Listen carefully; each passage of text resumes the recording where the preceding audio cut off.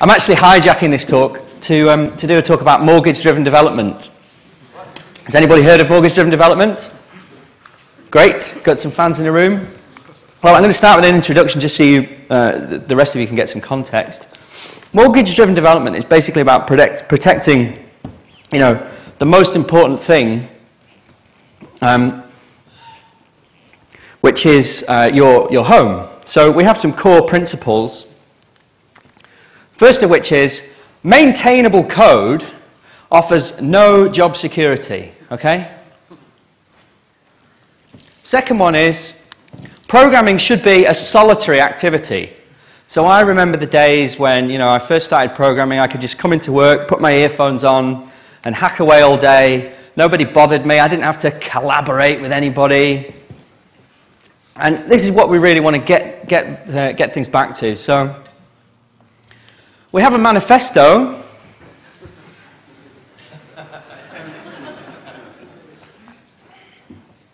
um, just some examples from that.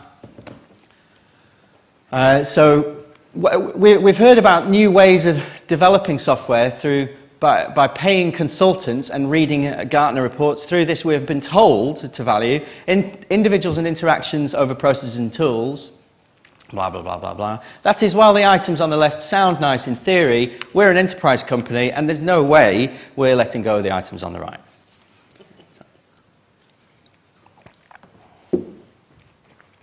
So let's have a look at some examples.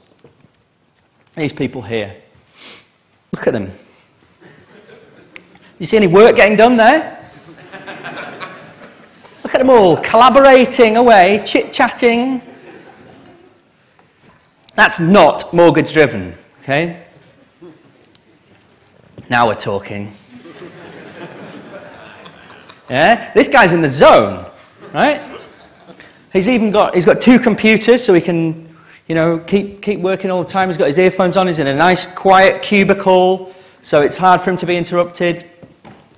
So this is the kind of thing we're talking about. So let's go back to those principles, right? Maintainable code offers no job security. Okay, so what does that imply? It means I want to try, whenever I'm writing code, I want to try and make that code as mysterious and hard to understand as possible. Right? Because if this code could be read and understood and, and maintained, by, maintained easily, that means it could be maintained by anybody, not just me. Right? And that's a worry. Equally, if I really want to be left alone at work and, and uh, achieve this goal of making my programming a solitary activity, I need to try and make, make it as awkward and unpleasant as I can get away with to work with me, right? If I, if I make it too unpleasant, I might get fired.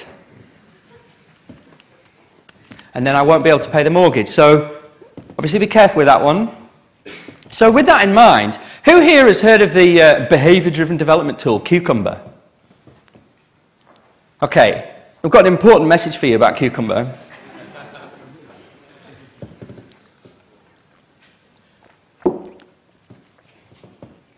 Seriously. Okay, and bear with me, right? I'm going to explain to you why. Let's have a look at why Cucumber is such a threat. Think about what the, the Cucumber experts like to talk about. So, Cucumber promotes collaboration between stakeholders and developers. How's this going to help us to, to be left alone and, and program in peace? It promotes transparency of how the system actually behaves, which is really the last thing we need, right, if we want to try and hold on to all that uh, information that we have in our private ivory tower about what the system does. Okay? If there's transparency out there, that means anybody could work on this system. That's a really bad thing. Look at this. Okay, aims to develop a shared understanding or ubiquitous language in the within the team. Have you ever heard what a load of nonsense, eh? Honestly. Okay, so what we're going to do about this is mortgage driven developers. I've got a couple of suggestions. Well, I, I, really, I've got one core practice and that practice is called refactoring. Okay. So, how does refactoring work? I didn't invent refactoring, okay? Refactoring was first introduced at the Waterfall 2006 conference by Jason Gorman. And refactoring is the process of taking a well designed piece of code and, through a series of small reversible changes, making it completely unmaintainable by anyone except yourself. That sounds pretty mortgage driven, doesn't it? So, how do we do refactoring? What are we going to do? Well, let's take an example of a best practice cucumber test. What can we do to this to make this more awkward to deal with, harder to understand? Let's have a look. So this feature here is describing um, the process of signing up for an account. And you can see there's a bit of documentation at the top that just sort of outlines um, the steps that happen. And, and then we've got these three scenarios that are actually describing in detail what, what, the way those steps work. So the first thing, really, that we can very easily do is uh, we can apply the refactoring of remove spurious documentation. Okay? We don't need that bit up there. All it's doing is making this test easier to understand. So let's get rid of that. What we could even do is add in some sort of trite thing like, as a uh, user who wants to sign up, I want to be able to sign up. Yeah? Do something like that. Just, just a bit of clutter in there, just to really uh, confuse people. Okay, then the next thing we could do is we could take those three scenarios, which are acting as three separate indicators, giving three separate warnings about uh, which bits of behavior are actually functioning in the system, and we could just smack them all together. So this refactoring is called conflate scenarios. There we go. Okay? And you can immediately see that this, this test is getting a lot harder to read. And what's more, it's actually delivering less value now because there's only one indicator that's going to fail if any one of those three things are wrong. In fact, um, if an early part of the scenario fails, we don't even know whether the rest of it's failing or not. So, extremely mortgage driven. Now, this comes, now we come to my favorite refactoring. Does anybody know what incidental detail is? Well, clues in the name, incidental, right? It's pointless. So this is a really good way to confuse your reader. So let's have a look at this. What could we do here to just uh, make it a little bit more confusing? Let's just flesh out the process of filling in uh, the, the, the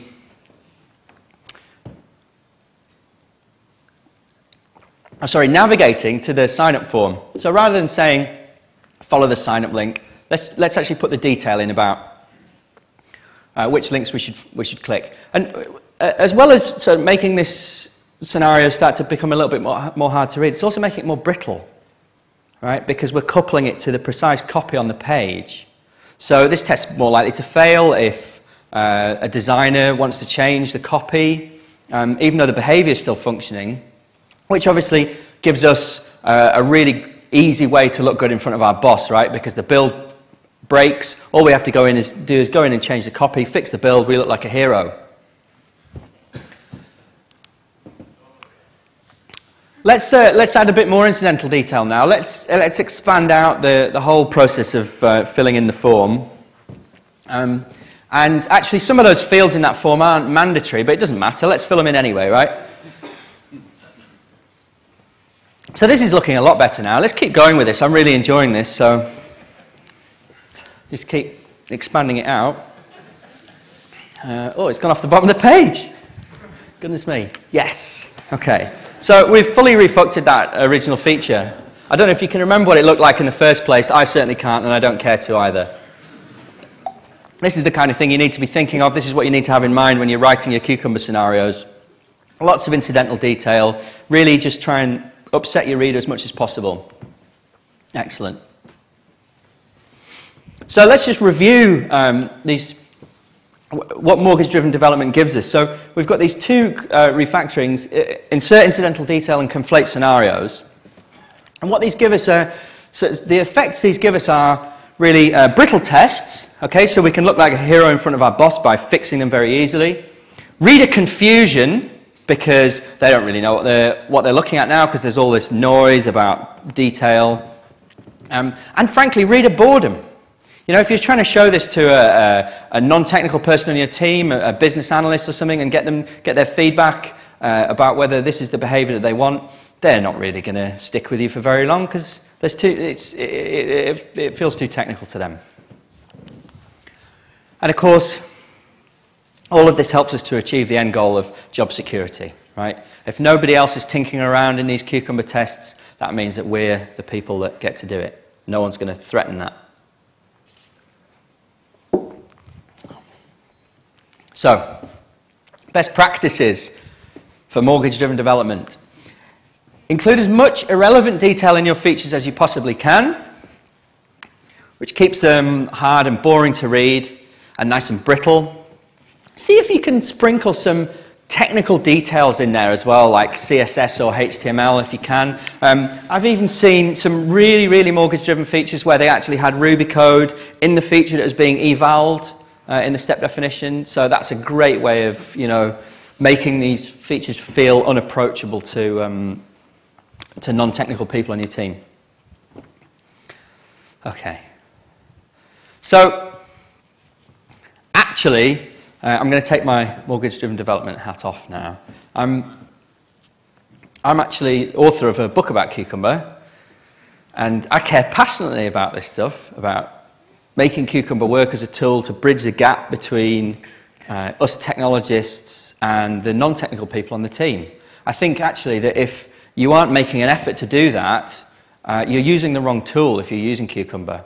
You really should be just using a, a more straightforward test runner like uh, whatever your XUnit tool is in your language because Cucumber does add extra maintenance cost. It adds this extra layer of complexity, which is translation between the English and the, the, the, code that's going to be run underneath.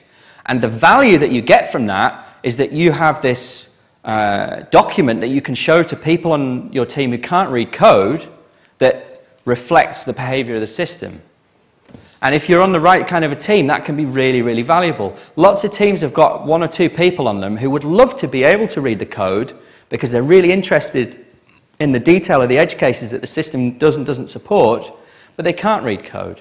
And Cucumber helps to give you a place to, to meet with those people and discuss the ins and outs of what that behavior should be. So I think this is really important. And I see this such a lot that features are written by technical people uh, without getting the feedback from, uh, from the non-technical people. So the question I want to ask you really is, is why are you writing these? Who, who is using Cucumber day to day? Why, why are you writing features? Why are you using Cucumber? So, someone, someone give me an answer. Hmm? Use your mic. It's reverse Q and A here. Uh, uh, oh, Use your mic if you want to answer. Was that rhetorical? Uh, no, it, was, it wasn't entirely rhetorical. I'd quite like to hear people have got, but I don't use it, so uh, we're using Cucumber so we can tell what our test did. Tell what your tests did. Yeah. I can't see. Where's the? There. Hi. I'd love to have non-technical people read it someday, but we're not there yet. The non-technical people. Yeah. I mean, yeah. I think that's a great goal. It's yeah. just been um, it's it's it's taking a while to reach it, but at least it helps us. It helps us. It gives us at least something we can look at at a glance yeah. and say like, oh, okay, well, I know where inside and the test failed, yeah. rather than like, what is that DOM element again? Where yeah. is it? Like, yeah. So even if it's not necessarily speaking to a, a, a, an individual on the team who's non-technical, it's kind of speaking to the part of your brain that's non-technical and helping you to think in terms of just the features in the system rather than the detail about how that's implemented. But there is uh, there's another aspect to this, which I think Liz talked about probably in her keynote yesterday. I didn't see it, which is actually the act of, of writing features. If you can do it collaboratively, it can help you to flush out the behavior that you want. So this is, you know, you all know probably this uh, Standish Group thing about 66, is it? Percent, 64% of features in software systems are rarely or never used. Right? So that blue circle is all of the stuff that the business people think they need, and uh, that bit in the middle is all you actually need. That's the bit that the, your users are, um, are actually going to enjoy and benefit from. And so, and in fact, probably there's something even smaller than that that would give you some value right now. And the skill of, uh, I think, of software project management is trying to find what's that next thing, what's that bullseye that you can aim towards right now. And I think the whole team needs to be involved in this. And if you can be uh, working together to talk about the features that you're building before you start building them, that can really help you to have those conversations to get uh, the business side and the development side on the same page. So, kind of a similar question to the one I asked before, but who are you writing these features for? Are you writing them for yourselves and for the development team as tests? Or are you trying to write them? Are you thinking about your reader as being the non technical people on your team? I mean, when, when I write Cucumber features myself, what I'm trying to do is run around this loop of, you know, there's an idea about something that we want to build, and I'm going to try and nail down as we're discussing it I'm going to try and nail down the things that we've got agreement about in a feature before I go ahead and write any code. So the feature becomes the place where I kind of I minute the conversation that I have with my stakeholder. And then we can go on and build some code, and when we look at the code, we get even more ideas. But if I'm working with Cucumber well, I can actually use it to iterate in a very, very cheap fashion because we can start to visualize what the system's going to be before we've built it. We can use other tools for that, like wireframes, and mock-ups. But Cucumber really helps go on a, on a direction about behavior and helps you to, to visualize what the system's going to look like.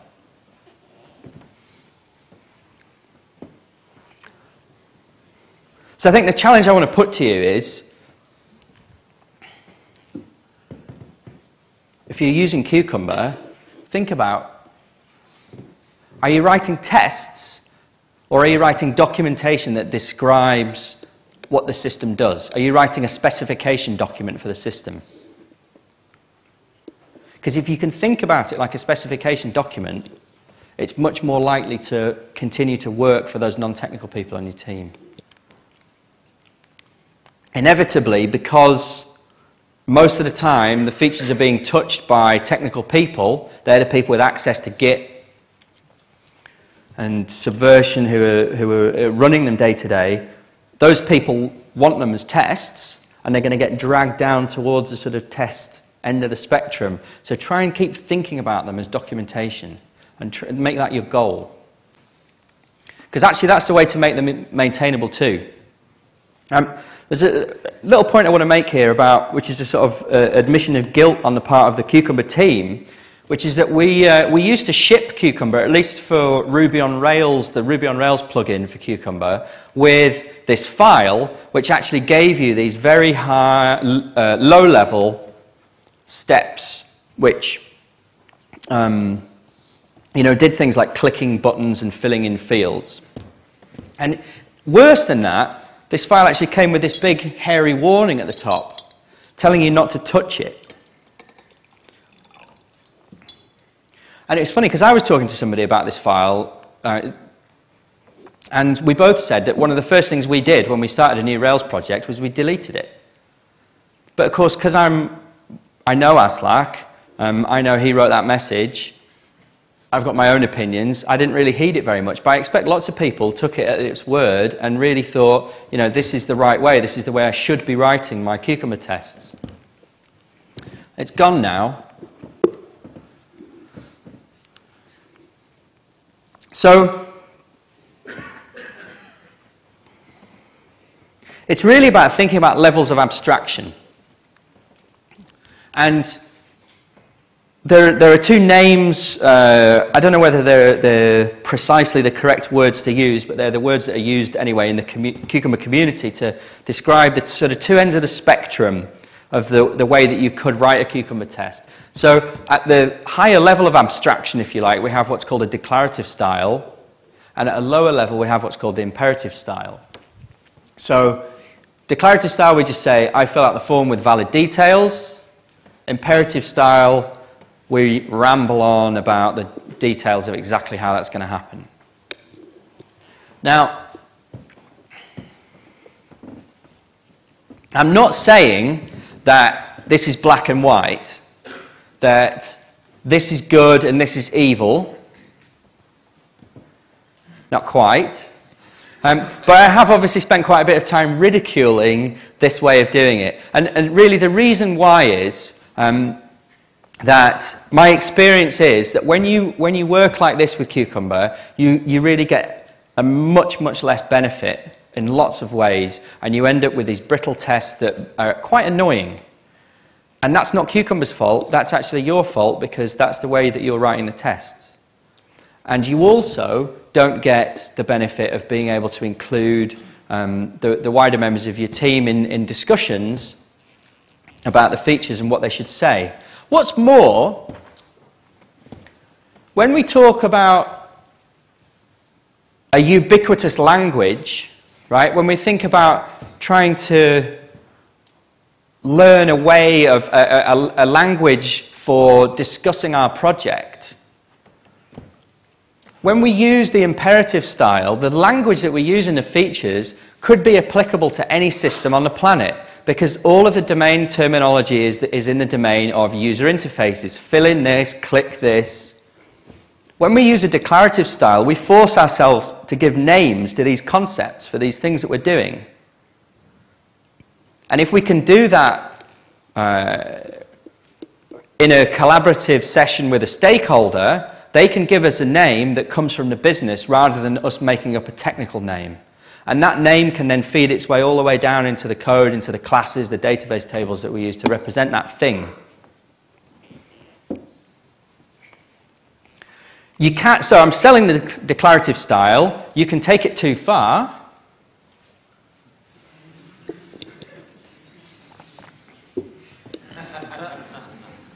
And the point I'm making here really is, right, so you could have just this one cucumber scenario for your whole system.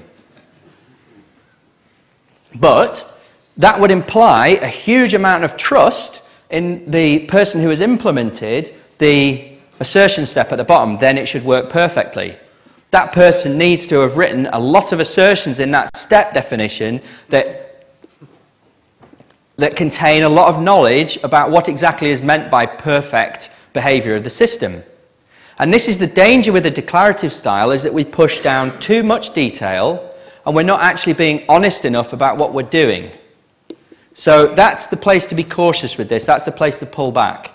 Make sure that you're exposing enough detail that stakeholders feel trust in, in what they're reading and you're not glossing over too much detail. So the point I was making about domain language earlier, there's a great blog post by Dan North uh, who kind of came up with a lot of the ideas that are behind Cucumber. Uh, that's on his blog it's, I guess, a couple of years old now, but it's worth Googling and having a read if you're interested in this subject. And uh, so, so, what about solutions? Well,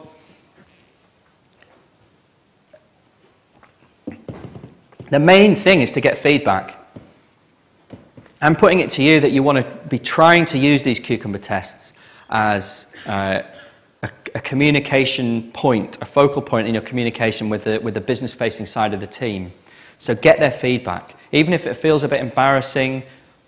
The, the way I, I started out doing this is I'd have a session, um, you know, like a story writing session with, with a stakeholder, and we'd be going through the acceptance criteria for a new user story. And the first thing I'd do when I'd go back to my desk and I'd sit down and scribble out the feature that described what we'd just been discussing, I'd just copy and paste it into an email and I'd say, based on the conversation we just had, here's what I'm about to build just start to get their feedback. And it was amazing. You know, even the, uh, the, the, designer who was in that session, who was, uh, you know, he, he, his technical level stops at Photoshop, he was actually giving me feedback and telling me about scenarios that I'd missed. This is a tool uh, for getting feedback, which I'm working on. Um, it's, it's kind of a gap, I think, at the moment with Cucumber. It's a failing of Cucumber that it's a very technical tool. You run it at the command line. Yeah, it looks pretty, and you can generate HTML reports um, that show you which features have passed and failed. But there's actually no way for um, you know, the business analyst person on the team to get their hands on the features if they want to. So that's why I built Relish. You can push your features there, renders them up as a nice website with every scenario's got its own URL, every feature's got its own URL. They look pretty. There's a full text search. Um, there's lots more features coming, which, you know, if, you, if you're interested and you start using it, I'd love to hear what you'd like. Uh, but it's already sort of solving the, the main problem for me, which is putting those features in the hands of the non-technical people on the team, because they're the people who really should be trying to take ownership of them, really.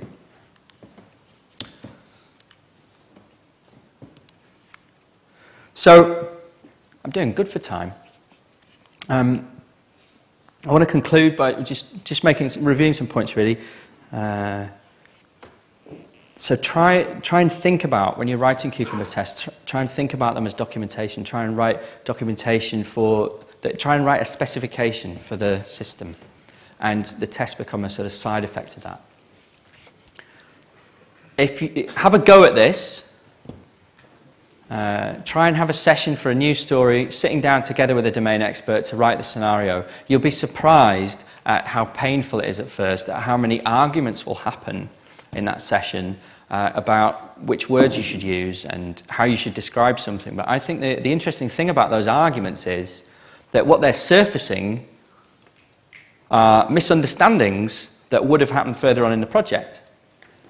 So if two people have got a different mental model of what this piece of software should look like, that's what is getting surfaced by that argument that happens when you try to actually describe it together in plain English. And much better, in my opinion, to surface that misunderstanding now, before you start writing the code, than further down the line. And the thing is, it gets easier and easier. So the more practice you have at working together with stakeholders to write these scenarios, the more your common language evolves, and the closer your mental models become aligned about what the project is, and this gets easier and easier to do. Equally, um, as I said, you know, uh, the advantage of a, a, very imperative style is that you can actually write a lot of features with very few step definitions. If you've got these generic step definitions about clicking buttons and filling in uh, fields and forms, you can kind of do anything with that you just end up with very hard to, hard to read features. So that means that you're pushing more complexity down into your step definitions, which means that uh, there's more complexity in that test code. You need to pair it with programmers to make sure that test code is well factored, uh, well engineered, just like the rest of the system. And watch out for those incidental details, because they're really the, the sort of, that's where the rot starts. Don't put any detail in a scenario that isn't relevant don't put anything in there that, that isn't important to, to, to what's actually being tested, because otherwise it's just a distraction. It confuses the reader. Okay, that's, uh, that's, that's me. There's some references there which will be on the slides, um, which will be on the website, I guess. So I've got about five minutes for questions. Anyone got any questions? There's one over there. Who's got the mic? Has everyone got their own mic? Yeah. That's amazing. Electronic, yeah. That doesn't say. what does it say? Electric engineering. Right. Very good at reading. Anyway, you've got a question. Let's, uh, let's Actually, put attention on you rather than me. Thank you. Uh, no, I was really interested in this Relish uh, tool. I mean, I would like to ask how similar or different is to FitNesse, and if you can run the cucumber test as unit test with Relish. Oh, sorry. So two questions there, because you said how similar is. So you're interested in Relish, and how similar is it to FitNesse? And what was the second thing? If you can run the test uh, as unit test, like you can do with the with the fit tests. Right. So no, the, the, uh, right now Relish is completely read-only. You certainly can't run tests. Um, you can't, what, the, the, the next thing I'd really like to add is the ability for people to not necessarily write uh, entire features, but at least comment on them and give feedback about, the, about them so they sort of uh, make notes about changes they'd like to see, but you can't run them, no. Um, I mean, the infrastructure for doing that would be really complicated. Relish is on the cloud, so you push your features out to that and they're, and they're, and they're there with you know, security around them for private projects, but um, it, doesn't, it, it doesn't work the same way as FitNesse where you'd have to actually uh, have a running instance of FitNesse in-house for your project. So, Um, so, so when do, do you get this kind of test format? I mean, you, you develop your tests using, using Cucumber, you run them, and then afterwards you generate these other formats so you can see them in, in Relish or? Yeah, yeah. So you basically just publish it. It's like So it's- publishing the specification document Okay. somewhere. Yeah. So it's like you generate this kind of report or Yeah. for, for Yeah. BAs Yeah. or something? Okay, Yeah. thank you. yeah, that's the way to think about it. Yeah. Okay, thank you. Any more questions? Yeah. Uh, we used Relish for uh, pushing our features online, uh, but having discussed with the team, uh, they said that this is not safe to, you know, uh, push all our uh, data uh, online Yeah. uh, publicly. So, is it possible to uh, uh, uh, get private some feature, like make some features private, and uh, we won't mind uh, all the common features become public, but we need some data to be secure, like Yes. some features. So you can you can make your project private same way as you can with GitHub. Um, it's uh, right now you can't do it through the web interface. You have to do it through the command line interface when you're pushing. Uh, the same way as when you push. So you call relish project private. So something. is there is it, is it a free or is it a, Well, the, that's the idea. So, so uh, right now it's in beta, everything's free, um, but ultimately, uh, yes, you will be charged a small monthly subscription for private projects, so I can sort of sustain the project, basically. Yeah. okay? Any more questions? Yeah? Yeah, question?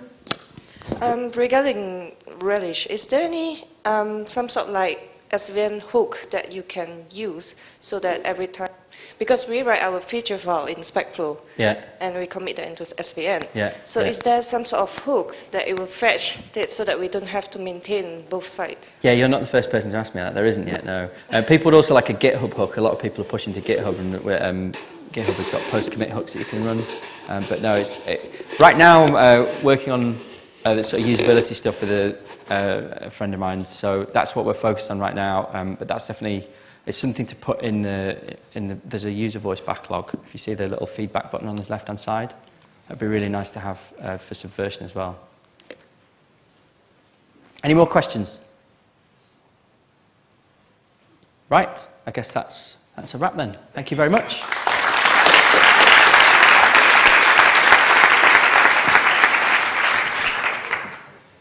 That was great. It was good timing. wasn't it? All right, that was awesome. Thanks. We've got a break now. Uh, come back here for lightning talks. Uh, 3:50 is the official start time. If you are a lightning talk speaker, make sure that you're here and sitting in the front row.